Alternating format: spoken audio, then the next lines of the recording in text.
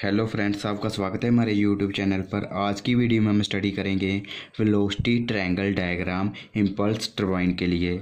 Impulse turbine को हम D level turbine भी बोलते हैं, ठीक है? सबसे पहले मैं आपको बता देना चाहता हूँ, ये हमारा ब्लेड है।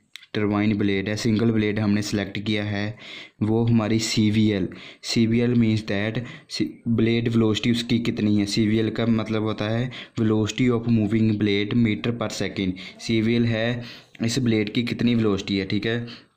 जब आपने इसके रिलेटेड न्यूमेरिकल सॉल्व करने होंगे तो आपको इसके angle C one C R one और इसके बारे में टोटली आपको नॉलेज होनी चाहिए। इसकी अगली वीडियो में मैं आपको इसका न्यूमेरिकल सॉल्व कराऊँगा। न्यूमेरिकल सॉल्व करने से पहले आपको इस वीडियो को अच्छे तरीके से देखना होगा और आपको इस डायग्राम के बारे में और इसकी कंबाइंड डायग्राम के बारे में नॉलेज होनी चाहिए। ये क्वेश्चन बेसिकली टेन मार्क्स में बी में पूछा जाता है, ठीक है? सबसे पहले बात करते हैं, ये हमारा ब्लेड है ट्रवाइन का सिंगल ब्लेड हमने सेलेक्ट किया है और जो मैंने ये सी वन लिखा है, ये हमारी नोजल से जो स्टीम आ रही है सी वन वो बता रही है velocity of steam at inlet metre per second जो यहाँ पर हमारी नोजल लगी होगी, वहाँ से नोजल से हमारे स्टीम आएगी और हमारे ब्लेड पर स्ट्राइक करेगी। उसे हमने नाम दिया है नोजल से, जो इसे हम नोजल एंगल भी बोल सकते हैं। नोजल से किस एंगल से स्टीम आ रही है, उसे हम बोलेंगे सी वन और ए अल्फ़ा एंगल बना रही है होरिजोनटल के साथ। ये इनलेट पर है, जब स्टीम एंटर करेगी तो आउटलेट पर कैसे और लीव करेगी, ठीक है?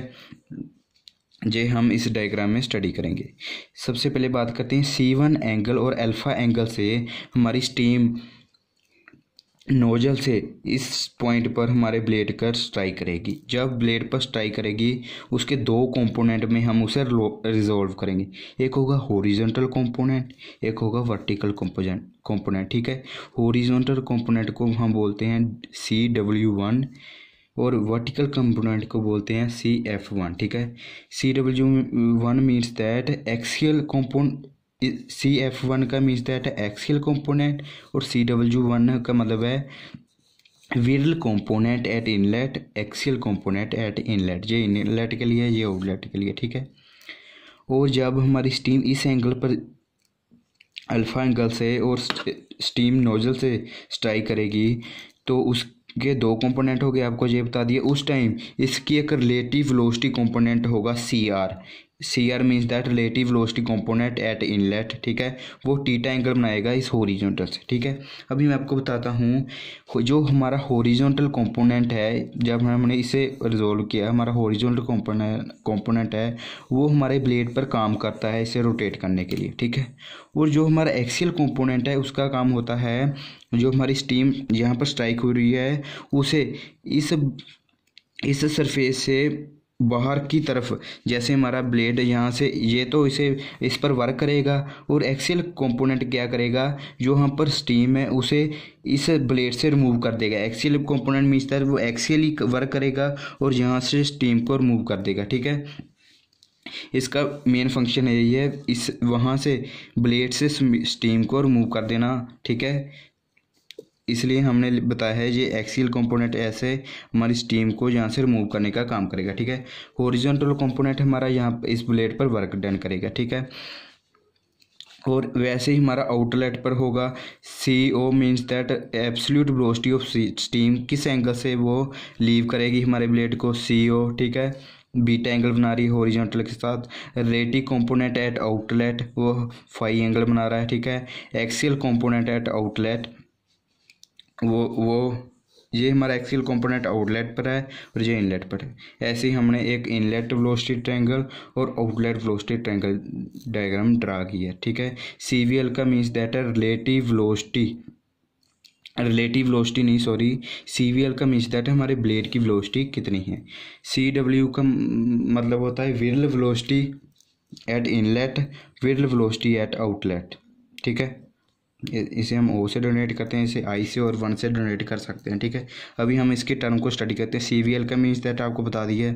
Velocity of moving blade metre per second C one का मतलब हुआ C one velocity of steam at inlet metre per second C two का क्या?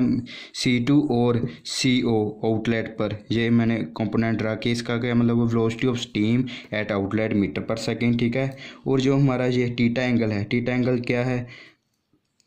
Entrance angle of moving blade, entrance angle है हमारा मूविंग ब्लेड का, और फाइव क्या है? Exit angle of moving blade ठीक है? एंट्रेंस एंगल और एग्जिट एंगल एंट्रेंस एंगल और exit angle of moving blade ठीक है? अभी हम, मैं आपको बताता हूँ एक और टर्म जो रिलेटिव वेलोसिटी एट इनलेट है और रिलेटिव वेलोसिटी आउटलेट है, ये इक्वल होगी।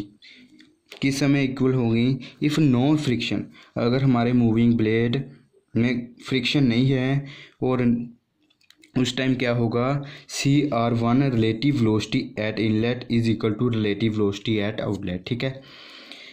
जो हमने इनलेट और आउटलेट पर एक वेलोसिटी ट्रायंगल ड्रा की थी, उसे हमने कंबाइन कर कर एक velocity triangle combine velocity triangle diagram draw की है। जो ये वेलोसिटी ट्रायंगल डायग्राम है, हमारे न्यूमेरिकल को सोल्व करने के लिए यूज़ की जाती है, ठीक है? इसके बारे में आपको बता देना चाहता हूँ। इसमें सेम एंगल मैंने उस उस डायग्राम से, दो डायग्राम से ड्रा किए हैं। जैसे ये टीटा फाई अल्फ़ा बीटा ठीक है?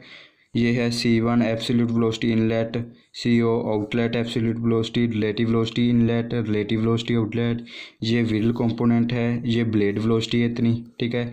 ये axial component inlet axial component at outlet ठीक है? जब हम इस टाइप के न्यूमेरिकल सोल्व करेंगे तो हमें उस टाइम हमें वर्क डन के लिए हमें फार्मूला यूज़ होता है M S means that mass of steam per second ठीक है? सी डब्ल्यू वन का मीन क्या हुआ? जो हमारा एक हॉरिजॉन्टल कंपोनेंट बनता था, उसकी वेलोसिटी कितनी है? सी डब्ल्यू वन आउटलेट पर उस कंपोनेंट की कितनी वेलोसिटी है, ठीक है? सी वी एल ब्लेड की कितनी वेलोसिटी है, ठीक है? और एक्सीएल कंपोनेंट का भी ये formula M S C F minus C F O axial thrust mean force है, इसकी यूनिट न्यूटन होगी वर्क डन है न्यूटन मीटर होगी, और पर सेकंड के लिए हम फाइंड करें मीटर पर सेकंड होगी। ऐसे ही डायग्राम और ब्लेड और डायग्राम एफिशिएंसी का एक फॉर्मूला है, ठीक है? इसकी यूनिट परसेंटेज होगी। इस तरह से हम लोस्टी ट्रायंगल डायग्राम के न्यूमेरिकल सोल्व कर सकते हैं। अगर आपको ये वीडियो अच्छी लगी, मेरे चैनल को लाइक शेयर और सब्सक्राइब करना मत भूलना। और अगली वीडियो में मैं आपको इसके इसके ऊपर न्यूमेरिकल सोल्व कराऊँगा, ठीक है? Thank you